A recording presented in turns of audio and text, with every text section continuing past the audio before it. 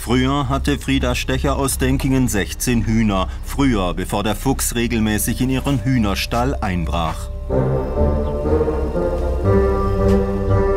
Ein einziges Huhn mit vier Jungen ist noch übrig. Doch selbst im Hasenstall sind die Tiere nicht sicher. Ich habe schon Angst, ja.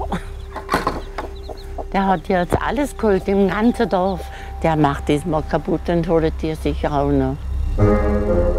Es geschah am helllichten Tag, mittags um drei. Der Fuchs, der ist jetzt nur gerade dahergekommen. Und dahinter hat er schon alle kaputt gemacht. Die sind da gelegen. Und dann schrieb er das Haken auf. Friedas Nachbarin filmte den dreisten Raub. Wo kommst du her? Wo gehst du nach? Haust du ab, du? Freche Siech. Du, freche Siech, du. Eine tote Henne verschleppt der Fuchs an einen bizarren Ort. Da ist er raus. Der hat die Heim im Grab beerdigt. Er hat die im Friedhof immer Grab vergraben und holt sie im Winter wieder, wenn er halt Zeit hat. Das war ein frommer Fuchs. Der hat das richtig beerdigt. Gottfried Lohr sieht's weniger humorvoll. Auf seinem Hof hatte der Fuchs bis vor kurzem seinen Bau zwischen diesen Heuballen. Dass er seine Beute von dort auf den Friedhof verschleppt hat, geht für ihn eindeutig zu weit. Durch das, dass er eigentlich auf dem Friedhof die Hühner vergräbt, ist das einfach nicht mehr tragbar. So ein Fuchs muss weg. Besonders, weil der diebische Fuchs nicht nur Hühner klaut. Helmut Gitschis hat er schon zum dritten Mal die Schuhe abgeluchst. Hinter dem Haus habe ich einen Platz zum Trocknen lassen und da habe ich vergessen zum Reinholen. Der war auf dem Friedhof, der war auf dem Friedhof. Und einer war fast draußen. Die gucke ich jetzt. Die, die werden jetzt gesotten und zwar wegen Bandwurm. Das kann sein, dass da der Bandwurm drin ist. Meinst du da?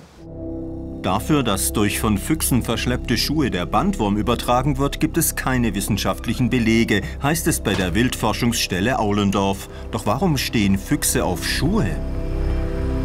Wir wissen nur, dass Füchse das tun und dieses Verhalten wird auch in ganz Europa beobachtet. Man geht eigentlich davon aus, dass sehr viel mit dem Spieltrieb und der Neugierde der Tiere zu tun hat und sicherlich auch mit dem Duft, den ja solche Schuhe durchaus haben. Könnte es sein, dass die Schuhe der Denkinger besonders gut duften?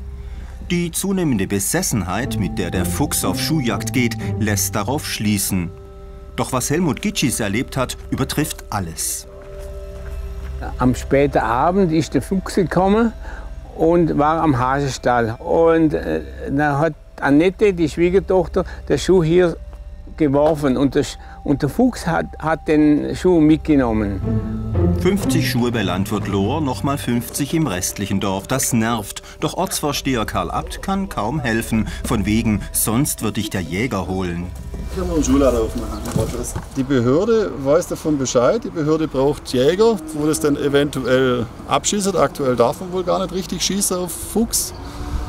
Und ja, man muss den Fuchs natürlich auch erstmal erwischen. Und sollten Sie Ihren fehlenden Schuh erkannt haben, im Rathaus von Denkingen liegt er zur Abholung bereit.